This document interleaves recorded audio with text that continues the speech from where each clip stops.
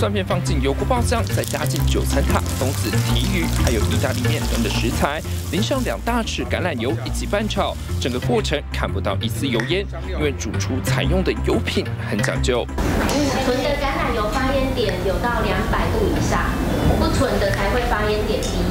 对冒烟点斤斤计较，主厨表示，越好的油品冒烟点温度越高。像是用来料理这道蒜香时蔬意大利面的纯橄榄油，适合清炒和中高温烹调。但你知道橄榄油还可以加进甜点之中吗？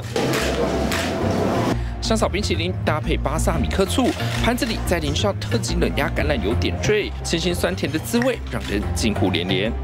加了油之后的话，它的呃冰淇淋里面多添加了那种果香的感觉，所以吃起来不会太油腻，然后但是又感觉很搭。品油师表示，市面上的橄榄油大致可分为冷压橄榄油、纯橄榄油以及橄榄薄油等三种，每种都有适合搭配的料理。好的橄榄油除了有果香味，还喝起来有苦辣感，另外从外观也能辨别。如果橄榄油冷藏两天呈现凝固状态，就表示是纯的橄榄油；如果外观清澈透明，则可能调和沙拉油或其他植物油。只要缺苦味、辣味、果香味其中一个味道。